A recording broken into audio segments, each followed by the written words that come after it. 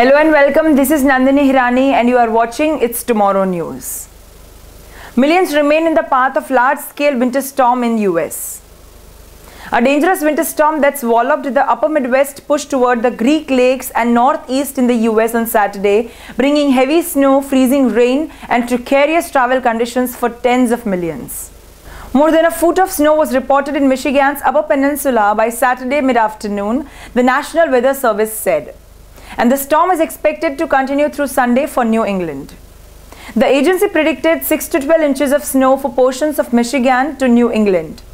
Farther south, a wintry mix hit parts of the Midwest and northern mid-Atlantic states.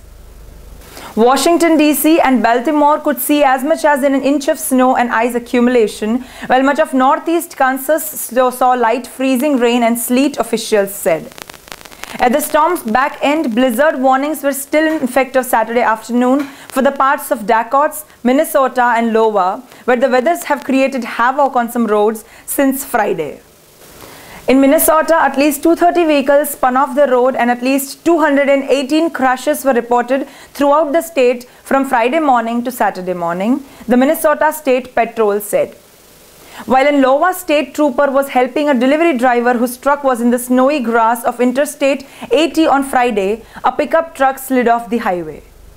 The pickup slammed into the delivery truck, narrowly missing the delivery driver, who scattered out of the way, video from the delivery vehicle showed. That's all for now. For more news updates, stay tuned with us. It's Tomorrow News, Nandini Hirani. For more news updates like these, please subscribe our channel.